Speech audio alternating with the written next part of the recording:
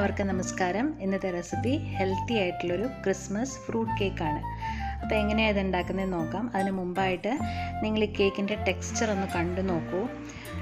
എന്നിട്ട് നിങ്ങൾ ഉണ്ടാക്കി നോക്കിയാൽ മതി. കണ്ടോ?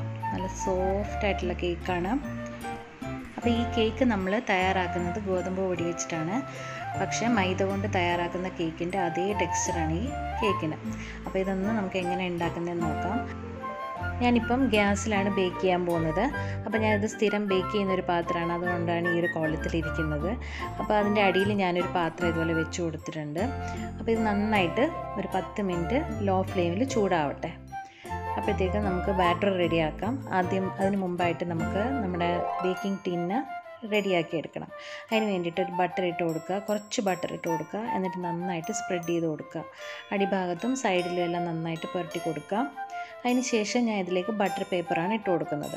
റൗണ്ടായിട്ട് കട്ട് ചെയ്ത ബട്ടർ പേപ്പർ ബട്ടർ പേപ്പർ നിങ്ങളുടെ കയ്യിൽ ഇല്ലാന്നുണ്ടെങ്കിൽ അതിന് പകരമായിട്ട് മൈദ ഒന്ന് ഡസ്റ്റ് ചെയ്ത് കൊടുക്കുക. അല്ലെങ്കിൽ ഗോതമ്പ് പൊടിയാണെങ്കിലും മതി.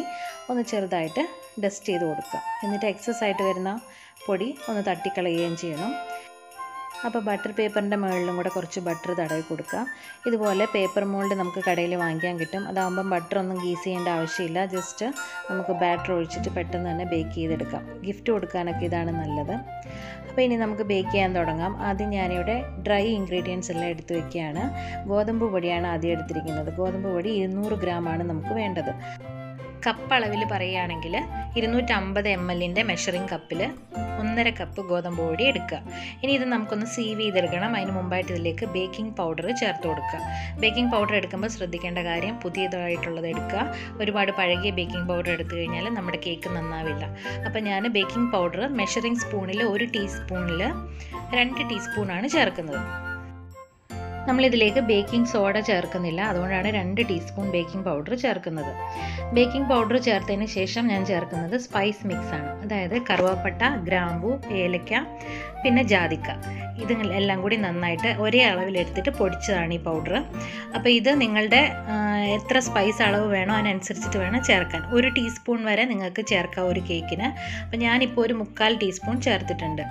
ഇതിനെ നന്നായിട്ടൊന്ന് മിക്സ് ചെയ്ത് കൊടുക്കുക. ഇതുപോലെ ഒരു വിസ്ക് കൊണ്ട് നന്നായിട്ടൊന്ന് യോജിപ്പിക്കാം എന്നിട്ട് നമുക്കൊരു അരിപ്പയിലൂടെ ഒരു മൂന്ന് പ്രാവശ്യം ഇത് അരിച്ചെടുക്കണം. ഇങ്ങനെ ഒരു മൂന്ന് പ്രാവശ്യം അരിച്ചെടുക്കുമ്പോഴാണ് നമ്മുടെ കേക്കിന്റെ ടെക്സ്ചർ നന്നായിട്ട് വരുന്നത്. അത് നിങ്ങൾ ഒഴിവാക്കരുത്. ഒരു മൂന്ന് പ്രാവശ്യം കുറഞ്ഞത് നന്നായിട്ട് അരിച്ചു കൊടുക്കണം. അപ്പോൾ ഡ്രൈ ഇൻഗ്രീഡിയൻസ് എല്ലാം അരിച്ച് മാറ്റി വയ്ക്കുക. അടുത്തതായിട്ട് നമുക്ക് വേണ്ടത് സോക്ക് ചെയ്തെടുത്ത ഡ്രൈ ഫ്രൂട്ട്സ് ആണ്. ഞാനിവിടെ ഓറഞ്ച് ജ്യൂസിലാണ് സോക്ക് ചെയ്ത് വെച്ചിരുന്നത്. അതൊരു നൂറ്റമ്പത് ഗ്രാം ഞാൻ എടുത്തിട്ടുണ്ട്. ഏകദേശം ഒരു കപ്പോളം വരും. അപ്പം അതിന്റെ കൂട്ടത്തിൽ ഞാൻ ഡേറ്റ്സും കൂടെ ചേർക്കുന്നുണ്ട്. അത് കുരു കളഞ്ഞ ഈന്തപ്പഴമാണ് അതും ഒരു അമ്പത് ഗ്രാം എടുക്കുക. അപ്പം നൂറ്റമ്പത് ഗ്രാം സോക്ക് ചെയ്ത് വെച്ച ഡ്രൈ ഫ്രൂട്ട്സും അമ്പത് ഗ്രാം ഡേറ്റ്സും. അപ്പം ഇതെങ്ങനെയാണ് സോക്ക് ചെയ്യുന്നതെന്ന് ജസ്റ്റ് ഞാൻ ഒന്ന് കാണിച്ചു തരാം. ഞാനിത് ഈ വീഡിയോ എടുത്ത സമയത്ത് എടുത്തതല്ല ഞാൻ നേരത്തെ സോക്ക് ചെയ്ത് വെച്ച സമയത്ത് എടുത്ത ഒരു ക്ലിപ്പാണ്. അപ്പം ഞാൻ സോക്ക് ചെയ്യാൻ വേണ്ടിയിട്ട് ഇവിടെ എടുത്തിരിക്കുന്നത് രണ്ട് കളറ് റേസിൻസ് എടുത്തിട്ടുണ്ട്. പിന്നെ എടുത്തിരിക്കുന്നത് കാൻബറിയാണ്. കാൻബറി എടുത്തിട്ടുണ്ട് പിന്നെ ആപ്രിക്കോട്ട് പിന്നെ മൂന്ന് കളർ ട്യൂട്ടി ഫ്രൂട്ടി. ഇതിന്റെ കൂടെ ശരിക്കും പറഞ്ഞാൽ ഫിഗും കൂടെ ചേർക്കണം. അന്ന് എനിക്ക് ഫിഗ് കിട്ടിയിട്ടുണ്ടായിരുന്നില്ല അതുകൊണ്ടാണ് ഞാൻ ചേർക്കാതിരുന്നത്. അപ്പം നമുക്ക് പെട്ടെന്ന് ഫ്രൂട്ട് കേക്ക് ഉണ്ടാക്കാൻ വേണ്ടിയിട്ട് എപ്പോഴും ബോയിൽ ചെയ്യുന്നതാണ് നല്ലത്. അപ്പം നമ്മൾ സോക്ക് ചെയ്ത് വെച്ച് കഴിയുമ്പോൾ ഏകദേശം ഒരു പത്ത് പതിനഞ്ച് ദിവസമെങ്കിലും കുറഞ്ഞത് അത് സോക്ക് ചെയ്തിരുന്നാലേ അതിനൊരു ടേസ്റ്റ് ഉണ്ടാവുള്ളൂ. അപ്പോൾ ഞാനിപ്പം റമ്മിലാണ് ഞാനിത് ബോയിൽ ചെയ്യുന്നത്. അപ്പം ഞാൻ ഡ്രൈ ഫ്രൂട്ട്സ് ഏകദേശം ഒരു കിലോ എടുത്തിട്ടുണ്ട്. അപ്പോൾ ഒരു കപ്പ് റം ഒഴിച്ചിട്ടുണ്ട് ഞാൻ. അപ്പം റം യൂസ് ചെയ്യാൻ താല്പര്യമില്ലാത്തവർ ഓറഞ്ച് ജ്യൂസ് എടുക്കുക. ഓറഞ്ച് ജ്യൂസ് ഒരിക്കലും ഞാൻ ഫ്രഷ് ഓറഞ്ച് ജ്യൂസ് റെക്കമെൻഡ് ചെയ്യില്ല. അതിനൊരു ചെറിയ കൈപ്പിരസ് ഉണ്ടാവും അതുകൊണ്ടാണ് ഞാനിപ്പം ട്രോപ്പിക്കാനയുടെ ഓറഞ്ച് ജ്യൂസ് വെച്ചിട്ടാണ് സോക്ക് ചെയ്തെടുത്തത്. അപ്പോൾ ഒരു ത്രീ ഡേയ്സ് കഴിയുമ്പം ആൽക്കഹോളിൽ നമ്മൾ ബോയിൽ ചെയ്ത ഡ്രൈ ഫ്രൂട്ട്സ് ഇങ്ങനെ ഉണ്ടാവും. പിന്നെ ഇത് ഞാൻ ഓറഞ്ച് ജ്യൂസിൽ സോക്ക് ചെയ്തതാണ്. അത് ഇതുപോലെ ഇരിക്കും. അപ്പോൾ ഞാനിപ്പം ഓറഞ്ച് ജ്യൂസിൽ സോക്ക് ചെയ്ത ഡ്രൈ ഫ്രൂട്ട്സ് വെച്ചിട്ടാണ് ഉണ്ടാക്കാൻ പോകുന്നത്. അപ്പോൾ ആദ്യം നമുക്ക് ഈ ഡ്രൈ ഫ്രൂട്ട്സിന്റെ കൂടെ ഡേറ്റ്സ് മിക്സ് ചെയ്യാം. പിന്നെ ഇതിലേക്ക് ചേർക്കുന്നത് കാൻഡിഡ് ജിഞ്ചറാണ് എന്ന് വെച്ചാൽ നമ്മൾ പഞ്ചസാരയിൽ വിളയിച്ചെടുത്ത ഇഞ്ചിയാണ്. അപ്പോൾ അതൊരു പത്ത് ഗ്രാം എടുക്കുന്നുണ്ട്. ഏകദേശം ഒരു ടേബിൾ സ്പൂണോളം വരും. അത് ഇതിലേക്ക് ചേർത്ത് കൊടുക്കുക. പിന്നെ ചേർക്കുന്നത് കാൻഡിഡ് ഓറഞ്ച്. ഓറഞ്ചിന്റെ തൊലി പഞ്ചസാരയിൽ വിളയിച്ചെടുത്തതാണ്. അതും ഏകദേശം പത്ത് ഗ്രാം ഒരു ടേബിൾ സ്പൂണോളം വരും. അതും കൂടെ ചേർത്ത് കൊടുക്കുക. ഇനി നമുക്ക് വെറ്റ് ഇൻഗ്രീഡിയൻസ് എല്ലാം മിക്സ് ചെയ്തെടുക്കാം. ഞാനിവിടെ ഇരുന്നൂറ് ഗ്രാം ബട്ടറാണ് എടുത്തിരിക്കുന്നത്. ഇതിന്റെ കൂടെ നമുക്ക് ഇരുന്നൂറ് ഗ്രാം ഹണിയാണ് മിക്സ് ചെയ്യേണ്ടത്. തേൻ അല്ലെങ്കിൽ നമുക്ക് ചക്കര അല്ലെങ്കിൽ കരിപ്പെട്ടി എന്നൊക്കെ പറയുന്ന പാം ജാഗറി നമുക്ക് യൂസ് ചെയ്യാം. അപ്പോൾ ഞാനിപ്പം പ്രിഫർ ചെയ്യുന്നത് ഹണിയാണ്. അപ്പോൾ ഇരുന്നൂറ് ഗ്രാം ഹണി ബട്ടറിലേക്ക് ചേർത്ത് കൊടുക്കുന്നുണ്ട്. ഇനി ഇത് രണ്ടും കൂടെ നന്നായിട്ടൊന്ന് ബീറ്റ് ചെയ്യണം. ഒന്നുകിൽ നിങ്ങൾക്ക് ഹാൻഡ് വിസ്ക് വെച്ചിട്ട് ഇതുപോലത്തെ ഹാൻഡ് വിസ്ക് വെച്ചിട്ട് നന്നായിട്ട് ബീറ്റ് ചെയ്തെടുക്കാം. ഇല്ലെങ്കിൽ ബ്ലെൻഡർ ഉപയോഗിച്ച് ബീറ്റ് ചെയ്തെടുക്കാം. അപ്പോൾ ഞാനിപ്പം ബ്ലെൻഡർ ഉപയോഗിച്ചിട്ട് നന്നായിട്ടൊന്ന് ബീറ്റ് ചെയ്യാൻ പോവാണ്. ഏകദേശം രണ്ട് മിനിറ്റ് നന്നായിട്ടൊന്ന് ബീറ്റ് ചെയ്തെടുക്കുക. ഈ ബട്ടറും ഹണിയും കൂടെ നന്നായിട്ടൊന്ന് മിക്സായി വരണം.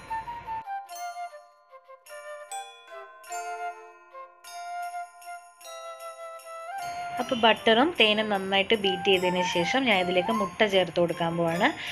ഏകദേശം ഇരുന്നൂറ് ഗ്രാം മുട്ടയാണ് ഞാൻ എടുക്കുന്നത്. ചെറിയ മുട്ടയാണെങ്കിൽ അഞ്ച് മുട്ട വേണ്ടി വരും. ഒരു മീഡിയം സൈസ് മുട്ടയാണെങ്കിൽ നാല് മുട്ട മതിയാവും. അപ്പോൾ ഓരോന്നായിട്ട് ചേർത്ത് കൊടുത്തിട്ട് വേണം ബീറ്റ് ചെയ്യാനായിട്ട്. നിങ്ങൾ പ്രത്യേകം ശ്രദ്ധിക്കണം.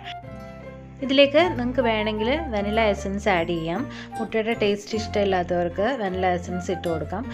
ഒരു അര ടീസ്പൂൺ ചേർക്കുക. പക്ഷേ അതിന്റെ ശരിക്കും ആവശ്യമില്ല. നമ്മൾ ഇതിലേക്ക് കാൻഡിഡ് ജിഞ്ചറും കാൻഡിഡ് ഓറഞ്ചും ചേർക്കുന്നതുകൊണ്ട് അതിന്റെ ഫ്ലേവർ ആയിരിക്കും നമുക്ക് കൂടുതൽ കിട്ടുന്നത്. അപ്പം വേണ്ടവർ മാത്രം വെനില എസൻസ് ചേർത്ത് കൊടുക്കുക. നമ്മൾ ഹെൽത്തി കേക്കാണ് ചെയ്യുന്നത്. അതുകൊണ്ട് ഞാൻ ഇതിലേക്ക് ഒന്നും ചേർക്കുന്നില്ല. അപ്പം നമ്മൾ വെറ്റ് ഇൻഗ്രീഡിയൻസ് എല്ലാം മിക്സ് ചെയ്തെടുത്തിട്ടുണ്ട്. ഇനി ഇതിലേക്ക് നമുക്ക് കുറേശ്ശെയായിട്ട് ഫ്ലോർ ആഡ് ചെയ്ത് കൊടുക്കാം. ഒരു ടീസ്പൂൺ ഫ്ലോർ ഇട്ട് കൊടുക്കുക. നന്നായിട്ട് മിക്സ് ചെയ്യുക. അങ്ങനെ വേണം ചെയ്യാൻ വേണ്ടിയിട്ട് എല്ലാം കൂടെ ഒരുമിച്ച് ബാറ്ററിലേക്ക് ഒഴിച്ചു കൊടുക്കരുത്. അപ്പം ഒരു സ്പൂൺ ഇടുക ഇതുപോലെ കട്ട് ആൻഡ് ഫോൾഡ് മെത്തേഡിൽ നന്നായിട്ട് മിക്സ് ചെയ്ത് കൊടുക്കുക. കുറച്ച് സമയം എടുക്കും നല്ല ക്ഷമയോട് കൂടി തന്നെ മിക്സ് ചെയ്യാം അപ്പോൾ ഈ കേക്കിന്റെ ഇൻഗ്രീഡിയൻസ് ഓർത്ത് വയ്ക്കാൻ വളരെ എളുപ്പമാണ്. മിക്കവാറും എല്ലാ ഇൻഗ്രീഡിയൻസും ടു ഹൺഡ്രഡ് ആണ് നമ്മൾ എടുത്തിരിക്കുന്നത്. ഫ്ലോറ് ബട്ടർ ഹണി പിന്നെന്താണ്? ഏകദേശം നമ്മൾ സോക്ക് ചെയ്ത ഡ്രൈ ഫ്രൂട്ട്സും ഇരുന്നൂറ് ഗ്രാമാണ് എടുത്തിരിക്കുന്നത്.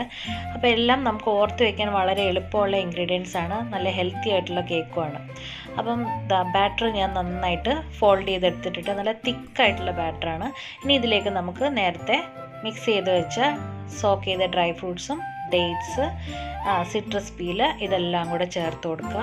അതേപോലെ തന്നെ നമുക്ക് മിക്സ് ചെയ്യണം. അതിന് മുമ്പായിട്ട് ഞാൻ കുറച്ച് കാഷ്യൂനട്ടും കൂടെ ചേർത്ത് കൊടുക്കുന്നുണ്ട്.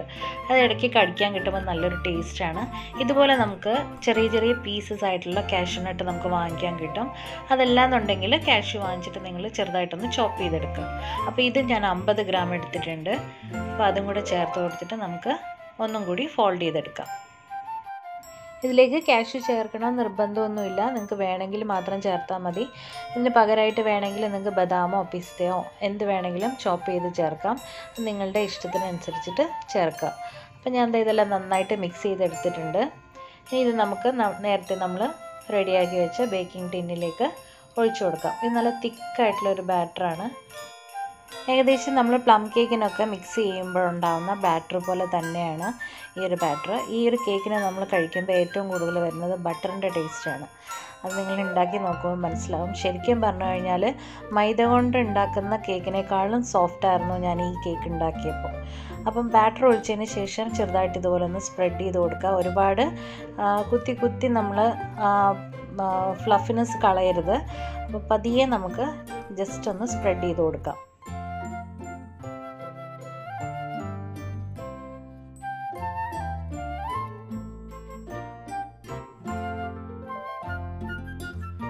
ഇനി ഇത് നമുക്ക് നന്നായിട്ടൊന്ന് ടാപ്പ് ചെയ്ത് കൊടുക്കാം. ഇതിന്റെ അകത്തുള്ള എയർ ബബിൾസ് ഒക്കെ ഒന്ന് പോകാൻ വേണ്ടിയിട്ടാണ് ഇതുപോലെ ടാപ്പ് ചെയ്ത് കൊടുക്കുന്നത്.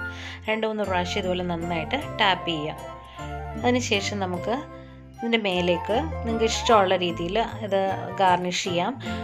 ഒന്നിൽ കാഷ്നട്ട് അല്ലെങ്കിൽ ബദാം പിസ്ത പിന്നെ ഞാൻ ഞാനിപ്പം വെക്കുന്നത് ചെറീസാണ് ചെറിയ രണ്ടായിട്ട് കട്ട് ചെയ്തിട്ട് അതാണ് ഞാനിപ്പോൾ മുകളിൽ വെച്ച് കൊടുക്കുന്നത്. ഒരുപാട് പ്രസ് ചെയ്ത് കൊടുക്കരുത്. ജസ്റ്റ് ഒന്ന് വെച്ചാൽ മാത്രം മതി. കാരണം ഇത് ഉള്ളിലേക്ക് ബേക്ക് ചെയ്യും തോറും ഇത് ഉള്ളിലേക്ക് അങ്ങ് ആയിപ്പോവും. അതുകൊണ്ടാണ് ജസ്റ്റ് ഒന്ന് വെച്ച് കൊടുക്കുക. ഇനി ഇത് നമുക്ക് ബേക്ക് ചെയ്യാൻ വെക്കാം. നമ്മൾ നേരത്തെ പത്ത് മിനിറ്റ് ലോ ഫ്ലെയിമിൽ ചൂടാവാൻ വേണ്ടിയിട്ട് വെച്ചിരുന്നു പാന് അതിലേക്ക് ആദ്യം ഞാനിവിടെ ന്യൂസ് പേപ്പർ ചെറുതായിട്ടൊന്ന് മടക്കിയിട്ട് ഒന്ന് വെച്ച് കൊടുക്കുകയാണ്. ഇതെന്തിനാന്ന് വെച്ചാൽ കേക്കിന്റെ അടിഭാഗം കരിഞ്ഞു പോകാതിരിക്കാൻ വേണ്ടിയിട്ടാണ് ഞാൻ ഇതുപോലെ പേപ്പർ വയ്ക്കുന്നത് ഞാൻ ഏത് കേക്ക് ബേക്ക് ചെയ്യാൻ വെച്ചാലും ഇതുപോലെ പേപ്പർ വയ്ക്കാറുണ്ട് അത് കരിഞ്ഞു പോകുമെന്നുള്ള ടെൻഷനൊന്നും വേണ്ട കത്തിപ്പോത്തൊന്നുമില്ല അപ്പം നിങ്ങൾക്ക് ധൈര്യമായിട്ട് ഇങ്ങനെ വെക്കാം. ഗ്യാസിൽ ബേക്ക് ചെയ്യുന്നവർ ഇതുപോലെ ഒരു സേഫ് സൈഡ് ഒരു പേപ്പർ വെക്കുന്നത് നന്നായിരിക്കും. അപ്പോൾ ഞാൻ ടിന്ന് വെച്ച് കൊടുത്തിട്ടുണ്ട്. ഇതിനി നമുക്ക് അടച്ചു കൊടുക്കാം. ലോ ഫ്ലെയിമിൽ തന്നെയാണ് എന്റെ ഗ്യാസിന്റെ സ്റ്റൗവ്. അപ്പോൾ ഇതുപോലെ ഹോളുള്ള ലിഡാണെങ്കിൽ ജസ്റ്റ് ഇതുപോലെ ഒരു ടിഷ്യൂ പേപ്പറോ എന്തെങ്കിലും വെച്ചിട്ടൊന്ന് അടച്ചു കൊടുക്കുക ഇത് ബേക്ക് ആവാൻ വേണ്ടിയിട്ട് ഏകദേശം ഒരു മണിക്കൂർ എടുക്കും. നിങ്ങൾ അവനിലാണ് ബേക്ക് ചെയ്യുന്നുണ്ടെങ്കിൽ വൺ എയ്റ്റി ഡിഗ്രിയിൽ ഫോർട്ടി ഫൈവ് മിനിറ്റ്സ് കൊണ്ട് ബേക്കായി കിട്ടും. അപ്പം ഏകദേശം ഒരു മണിക്കൂർ കൊണ്ട് എനിക്ക് കേക്ക് ബേക്കായി കിട്ടിയിട്ടുണ്ട്. എന്തെങ്കിലും ഒരു കമ്പിയോ പപ്പട കമ്പിയോ എന്തെങ്കിലും വെച്ചിട്ട് നിങ്ങൾ ജസ്റ്റ് ഒന്ന് കുത്തി നോക്കുക. അത് ക്ലിയർ ആയിട്ട് വരുന്നുണ്ടെങ്കിൽ നമ്മുടെ കേക്ക് ബേക്കായി ഇനി ഇത് നമുക്ക് ചൂടാറിയതിന് ശേഷം അൺമോൾഡ് ചെയ്തെടുക്കാം. അപ്പോൾ ഇതാ കേക്ക് ടിന്നിനടിയിൽ നമ്മൾ വെച്ച ന്യൂസ് പേപ്പറിന് ഒന്നും സംഭവിച്ചിട്ടില്ല കണ്ടോ? ഞാൻ നിങ്ങളെ കാണിച്ചതാണ് ഒരു വിശ്വാസം വരാൻ വേണ്ടിയിട്ട്. അപ്പോൾ ധൈര്യമായിട്ട് ഇതുപോലെ ന്യൂസ് പേപ്പർ വെച്ച് കൊടുത്തോളൂ കേട്ടോ അപ്പം നമുക്കിനി ഇത് അൺമോൾഡ് ചെയ്ത് നോക്കാം. നമ്മുടെ കേക്ക് നല്ല സോഫ്റ്റാണ് കണ്ടോ? അടിഭാഗമൊന്നും കരിഞ്ഞു പോയിട്ടില്ല. നല്ല പെർഫെക്റ്റ് ആയിട്ട് കിട്ടിയിട്ടുണ്ട്. അടിഭാഗം നല്ല സോഫ്റ്റ് ആണ് കണ്ടോ? ഇനി ഇത് നമുക്ക് കട്ട് ചെയ്ത് നോക്കാം. എന്നിട്ട് ടെക്സ്ചർ നിങ്ങൾ കണ്ടു നോക്കുക എത്ര സോഫ്റ്റ് ആണെന്ന്. അത് കട്ട് ചെയ്ത് നോക്കുമ്പം നിങ്ങൾക്ക് അറിയാൻ പറ്റും കണ്ടോ? ഭയങ്കര സോഫ്റ്റ് ആയിട്ടുള്ള കേക്കാണ് എല്ലാവരും ട്രൈ ചെയ്ത് നോക്കുക. അപ്പോൾ ഇഷ്ടപ്പെട്ടെങ്കിൽ വീഡിയോ സബ്സ്ക്രൈബ് ചെയ്യാനും ലൈക്ക് ചെയ്യാനും ഷെയർ ചെയ്യാനും മറക്കരുത്. എല്ലാവർക്കും എന്റെയും എന്റെ കുടുംബത്തിന്റെയും ഹാപ്പി ക്രിസ്മസ് താങ്ക്